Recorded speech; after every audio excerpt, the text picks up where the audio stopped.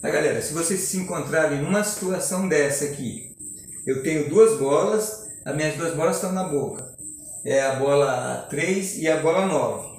E eu tenho que matar minha bola aqui e matar a 3. Para mim fazer isso, eu vou pôr efeito aqui 3 horas.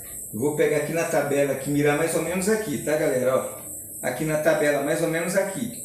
Aí ela vai pegar efeito, matar aqui o, AIS, ela vai voltar, vai pegar no 2 e mata minha bola. Aí eu ganho o jogo, tá galera? Vamos lá então, ó, efeito, ó, 3 horas, tá? Pegando aqui, ó, 3 horas.